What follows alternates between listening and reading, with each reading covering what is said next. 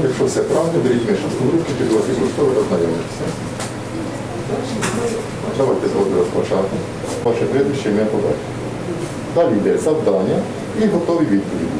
Одна з них є правильною. Читаєте, вибираєте відповідь і ставите наступне питання.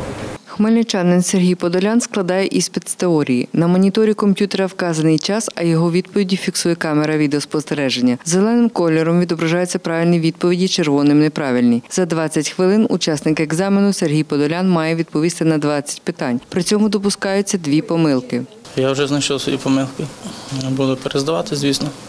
Сергій Подолян допустив три помилки. Відтак іспит не склав. Йому вручили документи на перездачу, розповідає адміністраторка територіального сервісного центру Вероніка Підвисоцька. Це дуже позитивно для тих людей, які е, можливо, якщо не склали іспит, вони не згідні з правилами. Тобто вони зараз мають 10-денний термін, мають право оскаржити це рішення, е, подивитися відеофіксацію. Ми можемо зібрати комісію і вирішити, чи дійсно е, правильний був результат іспиту, чи ні. Зберігається воно протягом трьох місяців. Раніше воно було запроваджено відеофіксація. Зараз вона є просто обов'язковою. Людина відмовитись від неї не може. А це екзамен по практиці. Камеру відеоспостереження встановлюють у салоні автомобіля. Голуб Артем Сергій. Перший етап практичного іспиту на категорію Б з маршрутом ознайомлення. Так.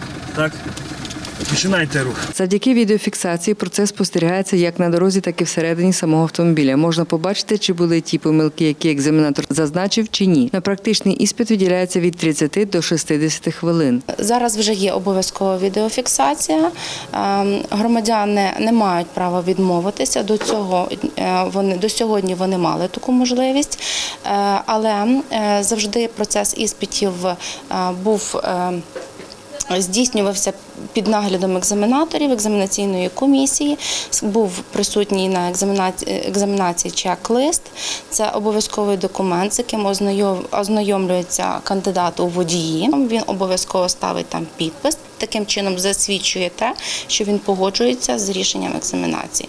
Якщо не погоджується, знову ж таки може бути оскаржено. Тетяна Ворожцова, Юрій Чорний. Новини на Суспільному. Хмельницький.